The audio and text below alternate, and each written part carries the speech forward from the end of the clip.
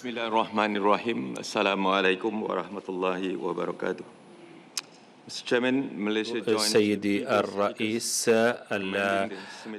الزملاء وأنا أدعو طبعا أو عفوا أنا أشكر المملكة الأردنية الهاشمية وأيضا مصر والأمين العام للأمم المتحدة على تنظيم هذا المؤتمر وعلى دعوتنا لحضور هذا المؤتمر سيدي الرئيس إن عملية التقتيل التي تحصل تحصل في غزة تتطلب منا وقفة هنا وأيضا تتطلب منا دعما إنسانيا.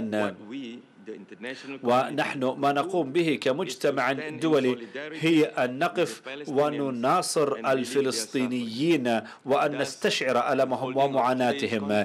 ومؤتمر اليوم هو ليس في وقته المناسب أو فقط لإيجاد حلول ولكن يأتي ضمن وقت جوهري. أصحاب السعادة هناك الكثير من التحديات التي تواجهنا. وطبعا يجب أن نضافر جهودنا. وهناك الكثير من الظروف التي يجب أن تؤخذ بعين الاعتبار من أجل تيسير وتسيير هذا الدعم الإنساني. الوحشية التي تحصل على الأرض مميتة ولا يوجد هناك أي ضمان للأمان. إسرائيل تقوم بالضربات الجوية ولا تستهدف فقط البنى أو أو المسلحين. ولكن هي تستهدف كل شيء حتى قوافل الإمدادات والمساعدات. وهذا يتطلب منا إجراءات سريعة. أصحاب السعادة.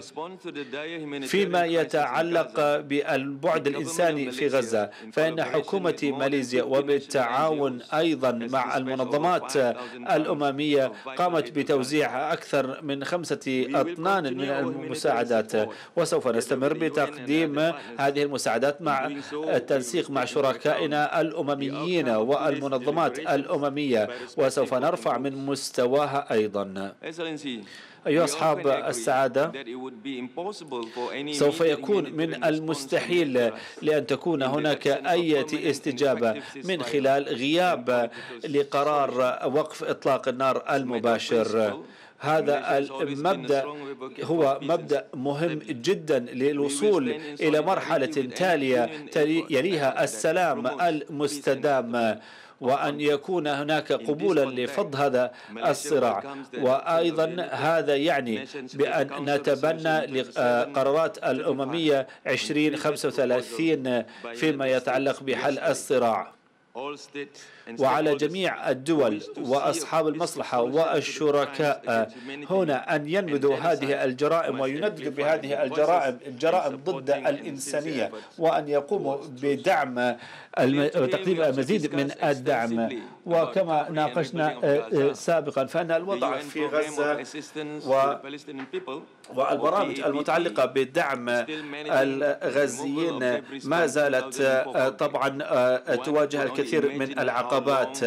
ولا نعلم متى سوف تحل هذه العقبات من أجل إيصال هذه المساعدات وتقديم حلول. لذلك من الواجب علينا أن نقوم باستجابة إنسانية شاملة. ونطالب الشركاء هنا على التأكيد وانضمام الجهود المتضافرة لإنهاء الصراع في غزة.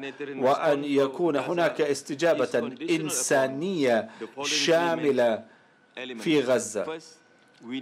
وعلينا الالتزام بثلاثة أمور. أولا حجم الاستجابة. وأيضا ما هي الاستراتيجيات التي سوف نتبعها لهذه المساعدات.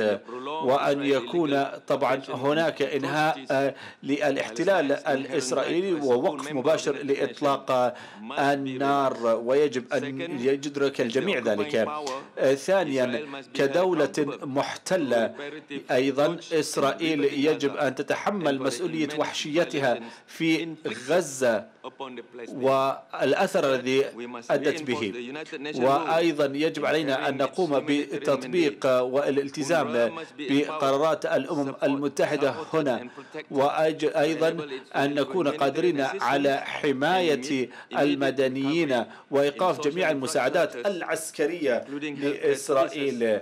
وأن يكون هناك دعم حتى نفسي على المستوى المطلوب. أيها السيدات والسادة الصراع في غزة مستمر واستمر لفترة طويلة ويتطلب ذلك تضافر الجهود الدولية. وفقط بتضافر الجهود الدولية نستطيع أن ننقذ غزة وننقلها إلى مستقبل أفضل. شكرا جزيلا.